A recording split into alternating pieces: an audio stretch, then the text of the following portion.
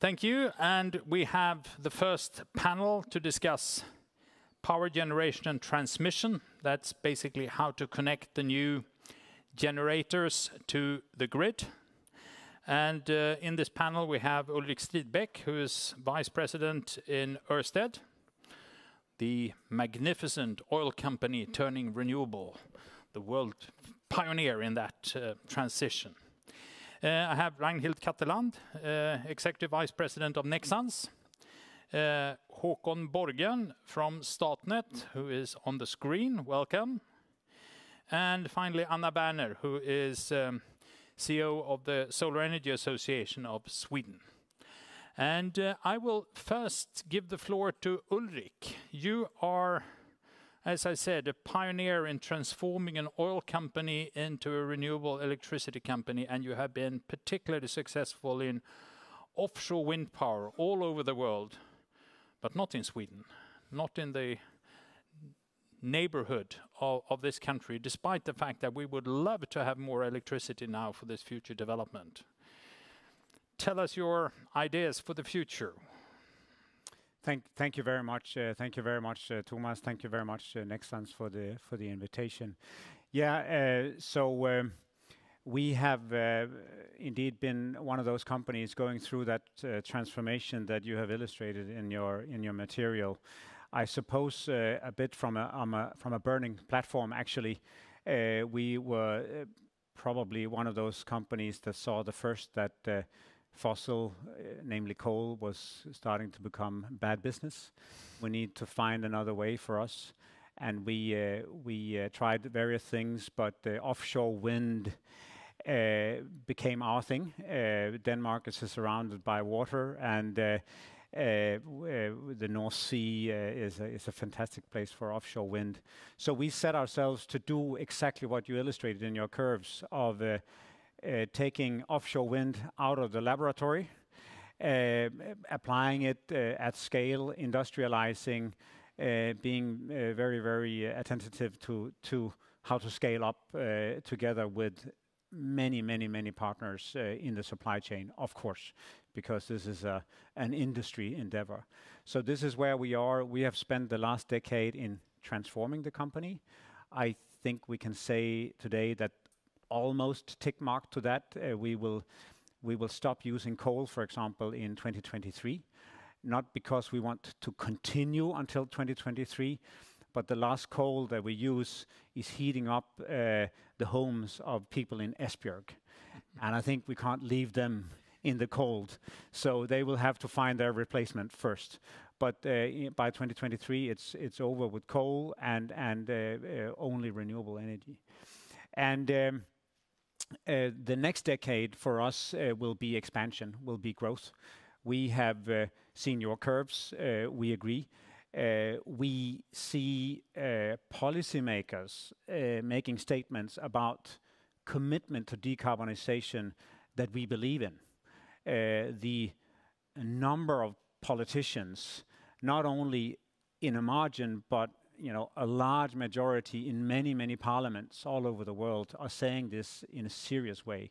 Also because it's it's good business for them and for their voters and consumers that that, that we go all in on this. Uh, and we will now, uh, we have set in our latest strategy update that we will build 50 gigawatt by uh, 2030, uh, of which 30 gigawatt will be offshore wind, and we will also invest in solar uh, and uh, onshore wind and in hydrogen.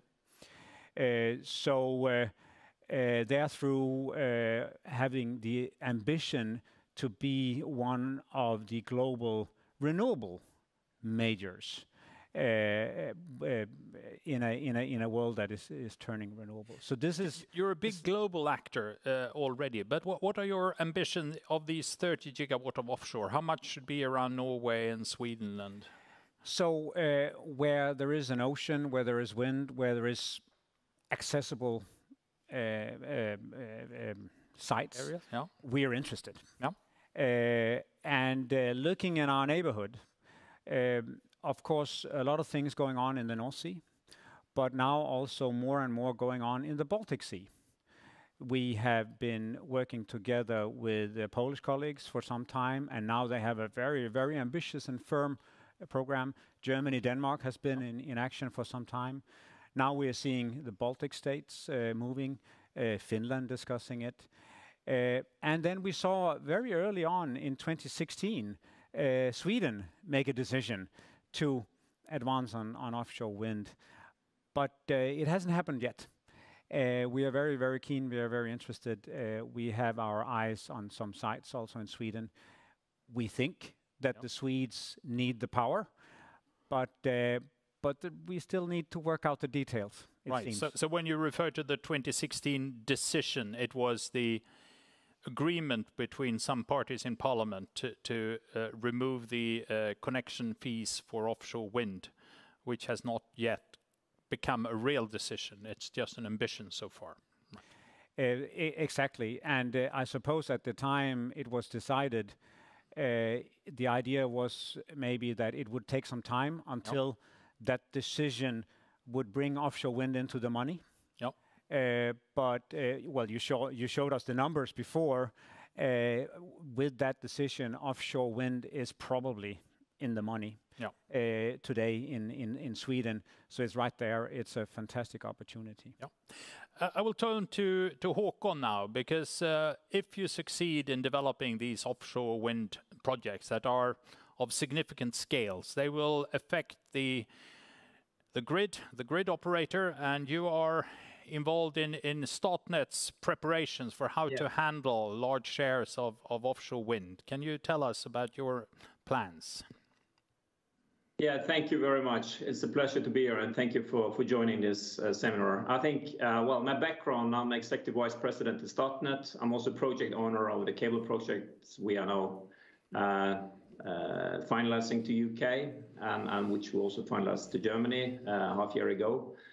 And uh, it's fair to say that what is going on now, the transformation of the energy system is so large uh, that the scale in itself, I think, needs to be addressed. Um, so I will just talk you through uh, a few slides, and then I will also go into your question. First thing is is the scale of Fit for 55, driven by Europe, is a global forerunner in how to actually deal with the climate change.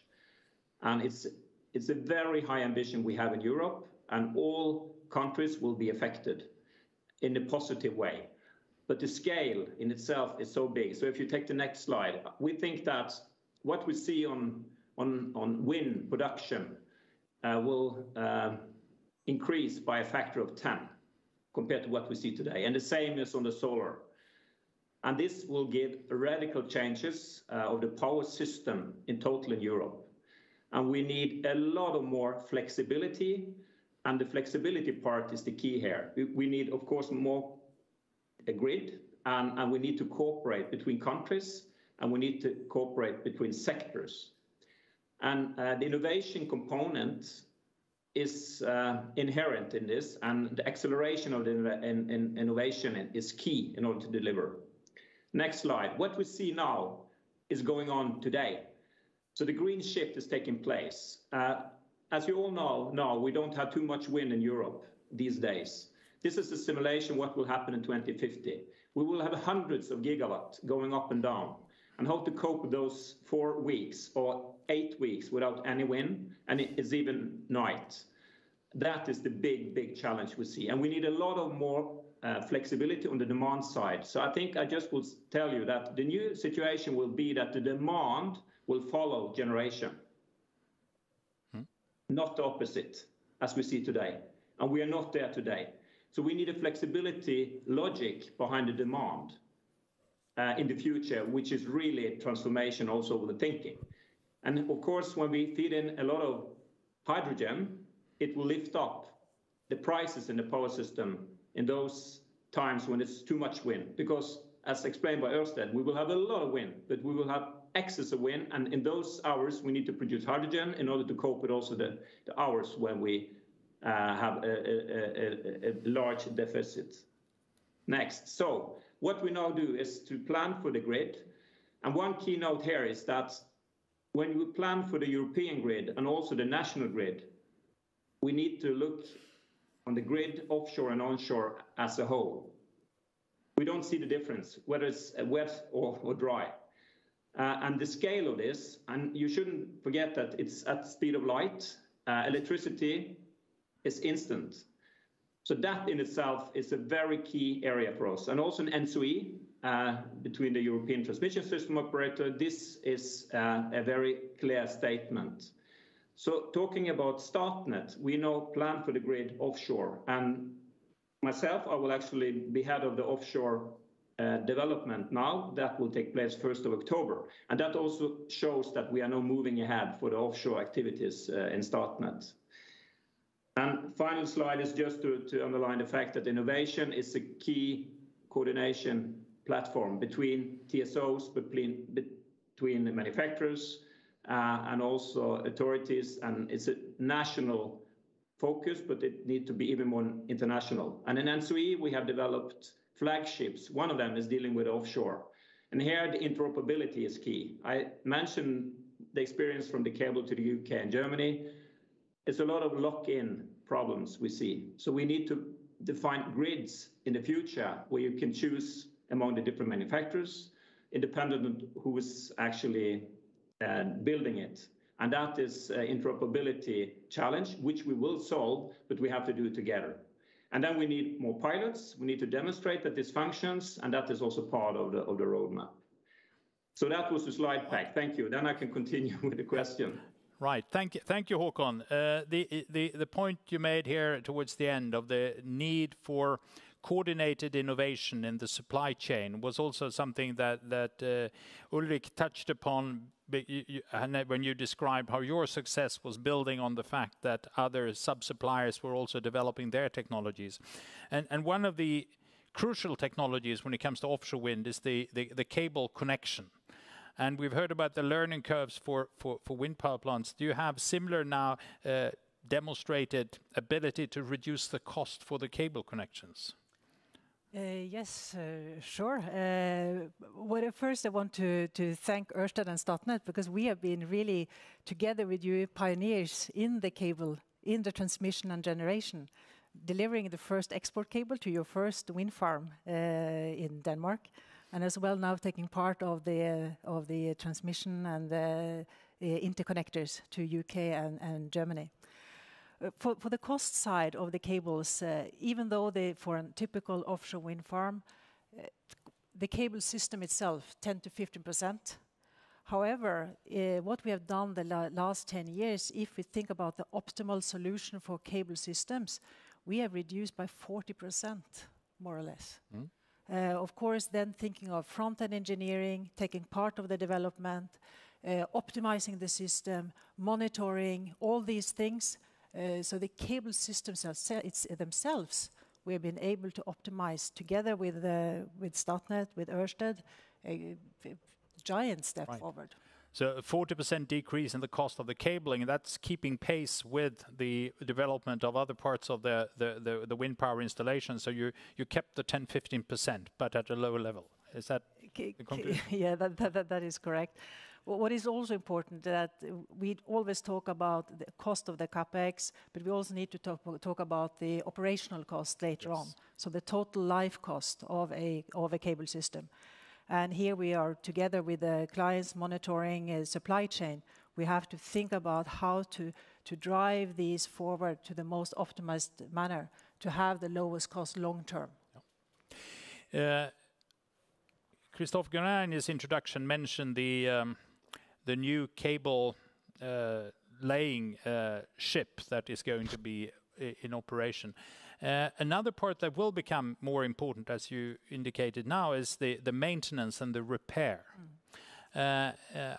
How much has that evolved over the last few years as you gain experience now of some cables maybe having perfect quality, but there are also ships anchoring on cables and things like that. So there are reasons to repair them now and then. Uh, is that an innovation process that, that is also evolving cost-wise in a similar fashion? Yes, clearly, and also the outage period is very important for these uh, these links, both for an offshore wind farm and as well for an interconnector. Uh, and to be prepared and to have all these Uh, upfront engineering done, upfront planning done, we can reduce the time of a chip of an outage by 80%. Hmm? From from even worst case, you can be up to one year, actually. If nothing is prepared, we can go down to one month or less, much less than this. Uh, and also, when you talk about the installation vessel, uh, behind me here, I don't know if you see it on the screen, but we have the Nexans Aurora. And also from efficiency standpoint, uh, with this vessel, we can also install two cables bundled, uh, so much more efficient as well, ready to to ready to go if there is a repair situation coming up. What we also do, uh, and this is also together with the clients, insurers, et cetera, is to plan ahead the risk management and how to foresee what could happen. Uh, and as long as you have good planning, uh, the cost and the time will definitely be reduced. Thank you, Ragnhild. Uh, Ulrik described the fantastic development of offshore wind power in the world and the total absence of offshore wind power in Sweden. No, not total. We have Lillgrund, which is quite a good performing early low-cost offshore wind plant. Uh, with solar, it's rather similar. Uh, what we have seen in Sweden is the development of a rather vigorous uh, rooftop solar market, but so far, very few large ground-mounted solar plants. And despite I indicated in the introduction that if we were as efficient as those building solar plants in Saudi Arabia, we should be able to build them at unsubsidized, profitable cost as well. What's happening? Anna Werner, you're heading the Solar Energy Association. You should know. Yeah, thanks for being here. I think, yeah, and we have no offshore solar plants yet in Sweden. No, not either. There's one being built in in Norway. But uh, uh, so we're waiting for that on the lakes and so.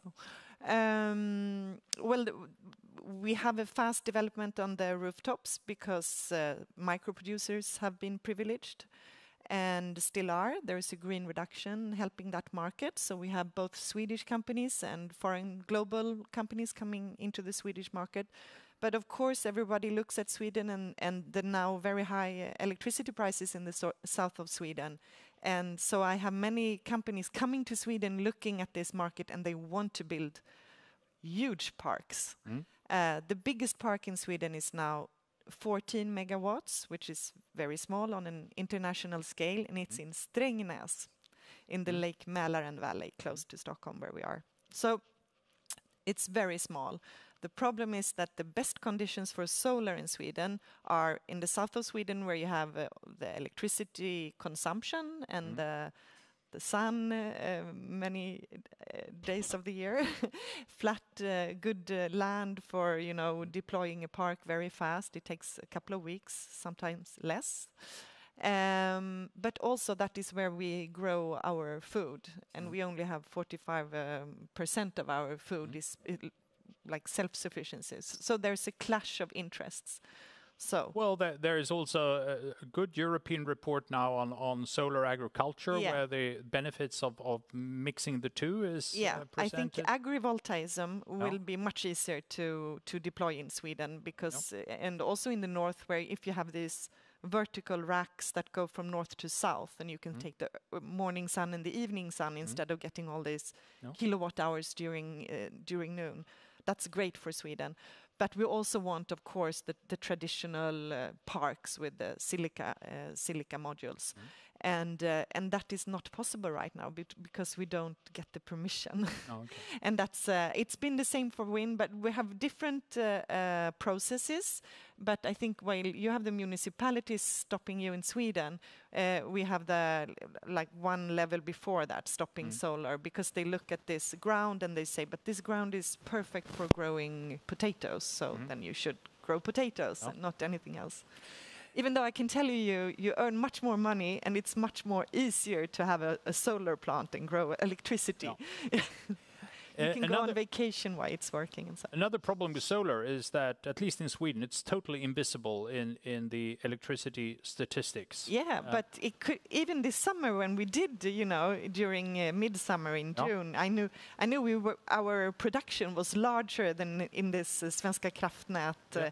They have this rest, like. Yeah Yeah. all other uh, electricity, but we weren't even there. So All- All I'll give you a other is less than the uh, the- the solar generation, which can now be up to 1.5 gigawatt if yeah, yeah, really lucky. maybe one and a half gigawatt. Yeah, Oh. if you count it uh, generously. So we, we may expect a contribution of uh, about 1% of glo- Swedish electricity production this year. It's ab- about one percent this year. It will be maybe 1.6 next year, I say. No. And then So rapid growth from a low level. Uh, we will be in the statistics in a year from now. I can promise you. That's good. Uh, Back to the uh, the the offshore uh, development. Uh, uh, Håkon, in your slide, you had this um, North Sea uh, wind um, symbol. And One of the the areas in Europe where where there is an enormous potential is the area Dogger's Bank, the the Norwegian, uh, Danish, and and and and British coastline. and The need again for collaboration and and uh, a joint effort to build the infrastructure and to to have a planning procedure that can avoid unnecessary costs is is, is vital for this development to be successful. Uh, what collaboration are you involved in, Håkon, with the other transmission grid operators around the North Sea, and how is the planning uh, done in practice? Well, I think we're moving into a new area. Um, we have done a lot of the, grid development uh, between the Nordic TSOs in the Nordic planning relationship. What we will see in the future now is that around the basins, like in the North Sea, the TSOs uh, which are around this uh, will have to cooperate, and we do.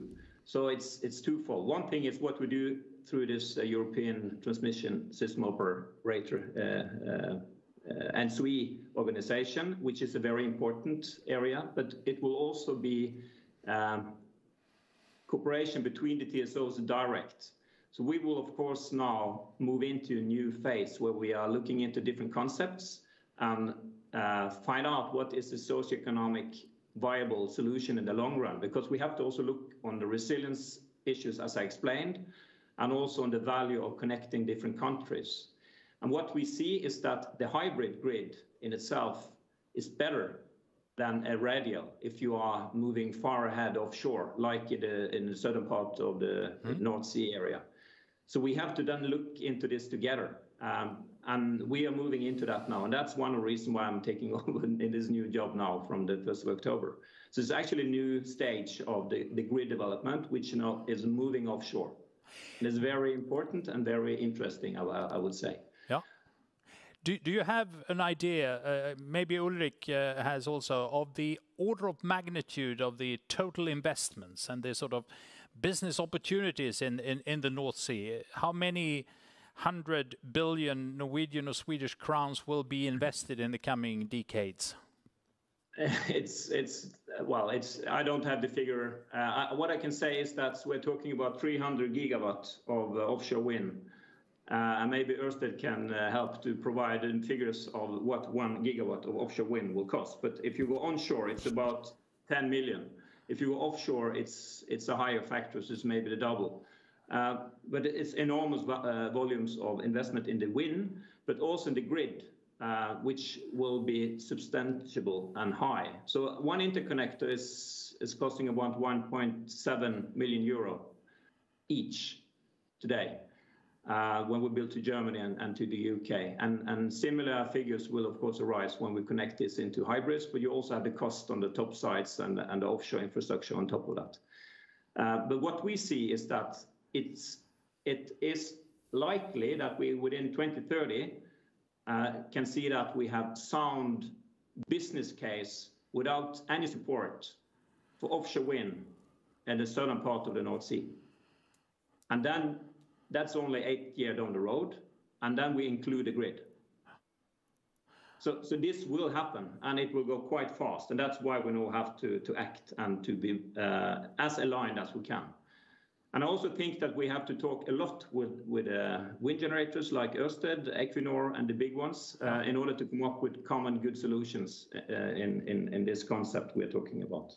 So what- what was the um, the, the result here of the uh, multiplication that uh, Håkon presented? So if, if Håkon he continues to talk a little bit more, I will I will do the math. But at the top of my head, I would I would I would think 500 billion-700 billion euros uh, uh, in that neighborhood. Right. I I, uh, think I think you're right because I got the same number. Oh, okay.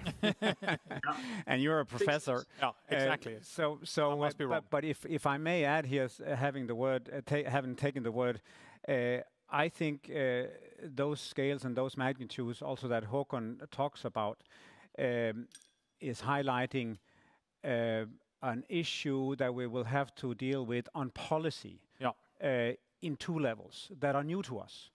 One thing is the sheer scale of things. Actually, the 300 GW Håkon mentions is without the Brits, and I think they still want to be part of Europe. Ah. Uh, uh, uh, so ah. it's actually 400 GW probably including the Brits.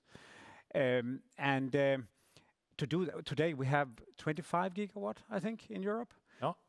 We will have to probably from 2030 to 2050 build the same amount every year that we have installed today. Yeah. We will have to start to talk about not only wind farms, but clusters of offshore wind farms. Right. We will build hundreds of Eiffel Tower-sized structures in the ocean, and we can only do that if countries cooperate. There is mm. no single market that can absorb that.